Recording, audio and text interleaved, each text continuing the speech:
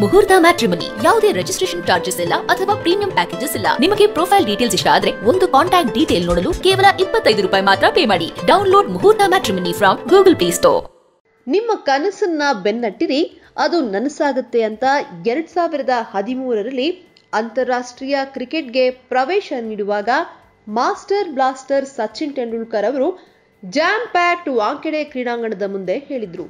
ಆ ಒಂದು ಹೇಳಿಕೆ ಅನೇಕ ಭಾರತೀಯ ಕ್ರಿಕೆಟಿಗರ ಜೀವನಕ್ಕೆ ಸಂಪೂರ್ಣವಾಗಿ ಹೊಂದಿಕೊಳ್ಳುತ್ತೆ. ಹೆಚ್ಚು ಪ್ರಸಿದ್ಧ ಆಟಗಾರರಿಂದ ಹಿಡಿದು ಭಾರತೀಯ ತಾರೆಯವರೆಗೆ ಜೀವನದ ಹಾದಿ ಸಾಗಿದೆ. ಎಡಗೈ ವೇಗದ ತಮಿಳುನಾಡಿನ ಸೇಲಂನ ತಂಗರಸು ನಟರಾಜನ್ ಅವರ ಕ್ರಿಕೆಟಿಂಗ್ ಪ್ರಯಾಣ ಜೊತೆಗೆ ಹತಾಟ್ ಪ್ರಾಮುಖ್ಯತೆಗೆ ಏರೋದು ಒಂದು ಕಾಲ್ಪನಿಕ ಕಥೆಗೆ ಕಡಿಮೆ ಏನಿಲ್ಲ. ಜೊತೆಗೆ ನಿವ್ವಳ ಬೌಲರ್ನಿಂದ ಟೀಂ ಇಂಡಿಯಾ ಸ್ಟ್ರೈಕ್ ಬೌಲರ್ಗೆ ಬಹಳ ಕಡಿಮೆ ಅವಧಿಯಲ್ಲಿ ಅವರನ್ನ ಮುನ್ನಡೆಸುವಲ್ಲಿ ಅದೃಷ್ಟವು ದೊಡ್ಡ ಪಾತ್ರವನ್ನ ವಹಿಸಿದೆ. ಅಕ್ಟೋಬರ್ ಇಪ್ಪತ್ತಾರು, ಎರಡ್ ಸಾವಿರದ ಇಪ್ಪತ್ತರಂದು ಬಿಸಿಸಿಐ ಆಸ್ಟ್ರೇಲಿಯಾ ಪ್ರವಾಸಕ್ಕಾಗಿ ಇಪ್ಪತ್ತೊಂಬತ್ತು ವರ್ಷದ ನಟರಾಜನ್ ಐಪಿಎಲ್ ಎರಡ್ ಸಾವಿರದ ಇಪ್ಪತ್ತರಲ್ಲಿ ಅವರ ಸಾಧನೆಗೆ ಎಲ್ಲರೂ ಕೂಡ ಧನ್ಯವಾದವನ್ನ ಹೇಳ್ತಿದ್ದಾರೆ. ಅವರು ನಿವ್ವಳ ಬೌಲರ್ಗಳ ಪಟ್ಟಿಯಲ್ಲಿದ್ರು.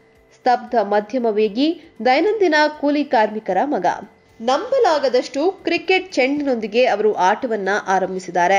ಇಪ್ಪತ್ತನೇ ವಯಸ್ಸಿನಲ್ಲಿ ಯಶಸ್ಸನ್ನ ಕಾಣ್ತಿರುವಂತಹ ನಟರಾಜನ್, ಸನ್ರೈಸರ್ಸ್ ಹೈದರಾಬಾದ್ ಪರ ರಶೀದ್ ಖಾನ್ ಅವರ ಹಿಂದೆ ಹದಿನಾರು ವಿಕೆಟ್ ಗಳಿಸಿದ ಎರಡನೇ ಅತಿ ಹೆಚ್ಚು ವಿಕೆಟ್ ಪಡೆದ ಆಟಗಾರ. ಈ ಸಮಯದಲ್ಲಿ ಅವರು ನೈಟ್ಸ್ನಲ್ಲಿರುವ ಭಾರತೀಯ ಬ್ಯಾಟ್ಸ್ಮನ್ಗಳಿಗೆ ಬೌಲಿಂಗ್ ಮಾಡಲು ಎದುರು ನೋಡ್ತಿದ್ರು. ಆದ್ರೆ ಅದೃಷ್ಟವು ನಟರಾಜನ್ಗೆ ಇತರ ಯೋಜನೆಗಳನ್ನು ಹೊಂದಿತ್ತು. ಯಾಕರ್ ಬೌಲಿಂಗ್ ಕೌಶಲ್ಯಕ್ಕೆ ಹೆಸರುವಾಸಿ ಹಾಗೆಯೇ ವಿಶೇಷವಾಗಿ ಡೆತ್ ಓವರ್ಗಳಲ್ಲಿ ತನ್ನ ಚಾಣಾಕ್ಷ ಆಟವನ್ನು ತೋರುವಲ್ಲಿ ನಟರಾಜನ್ ಯಶಸ್ವಿಯಾಗಿದ್ದಾರೆ. ಅದು ಅಕ್ಟೋಬರ್ ಇಪ್ಪತ್ತಾರು, ಎರಡ್ ಸಾವಿರದ ಇಪ್ಪತ್ತರಂದು ಬಿಸಿಸಿಐ ಆಸ್ಟ್ರೇಲಿಯಾ ಪ್ರವಾಸಕ್ಕಾಗಿ ಭಾರತ ತಂಡಗಳನ್ನು ಹೆಸರಿಸಿತು. ಅವರು ನೀಡಿದಂತಹ ಪತ್ರಿಕಾ ಪ್ರಕಟಣೆಯಲ್ಲಿ ಒಂದು ಟಿಪ್ಪಣಿ ಹೇಗಿತ್ತು? ಕಮಲೇಶ್ ನಾಗರ್ಕೋಟಿ, ಕಾರ್ತಿಕ್ ತ್ಯಾಗಿ, ಇಶಾನ್ ಪೊರೆಲ್ ಮತ್ತು ಟಿ ನಟರಾಜನ್ ಎಂಬ ನಾಲ್ಕು ಹೆಚ್ಚುವರಿ ಬೌಲರ್ಗಳು ಭಾರತದ ತುಕಡಿಯೊಂದಿಗೆ ಪ್ರಯಾಣಿಸಲಿದ್ರು ಭಾರತದೊಂದಿಗೆ ತಮ್ಮ ಕ್ರಿಕೆಟ್ ಜೀವನವನ್ನ ಮುಂದುವರಿಸೋಕೆ ಸುವರ್ಣಾವಕಾಶ ಇದೆ ಅನ್ನೋದು ಅಲ್ಲಿ ತಿಳಿಸಿತ್ತು.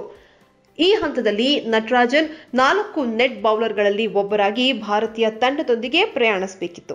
ಆಸ್ಟ್ರೇಲಿಯಾ ವಿರುದ್ಧದ ಏಕದಿನ ಮತ್ತು ಟಿ ಟ್ವೆಂಟಿ ಸರಣಿಯ ಸೀಮಿತ ಓವರ್ ತಂಡಗಳಲ್ಲಿ ಅವರನ್ನ ಸೇರಿಸುವ ಯಾವುದೇ ಯೋಜನೆ ಇರಲಿಲ್ಲ. ಆದ್ರೆ ಅವರ ಆಟದ ವೈಖರಿ, ಅವರು ಪಟ್ಟಂತ ಶ್ರಮ ಇವತ್ತು ಅವರನ್ನ ಆಸ್ಟ್ರೇಲಿಯಾ ಮತ್ತು ಇಂಡಿಯಾ ತಂಡದಲ್ಲಿ ಆಡುವಂತೆ ಮಾಡಿದೆ